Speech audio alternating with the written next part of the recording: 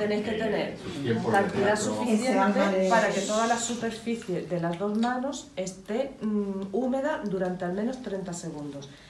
El primer paso es el que ha hecho ella, que sería palma sobre palma, Bueno, este entrelazando los dedos y haciendo incidencia en la parte interdigital, ¿vale? Ese es el primer paso. El segundo paso, palma sobre dorso de la mano, entrelazando los dedos también. La otra mano exactamente igual.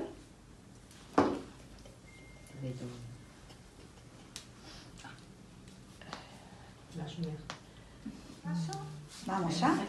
Siguiente paso sería la fricción de la parte distal de los dedos entrelazándose uno con otros, una mano con la otra.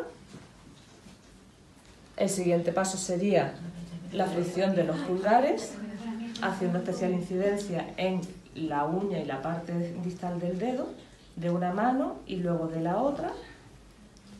Y por último sería, bueno, perdón, en las yemas de los dedos de una palma de la yema de los dedos de una mano sobre la palma de la otra mano, ¿vale? Haciendo especial incidencia en lo que es la punta de los dedos y las líneas interdigitales de la mano. Y lo siguiente sería fricción de, la- de una muñeca y la otra muñeca. El proceso tiene que durar al menos 30 segundos con toda la, la superficie de las manos húmeda mm, de solución desinfectante y luego dejarla secar al aire.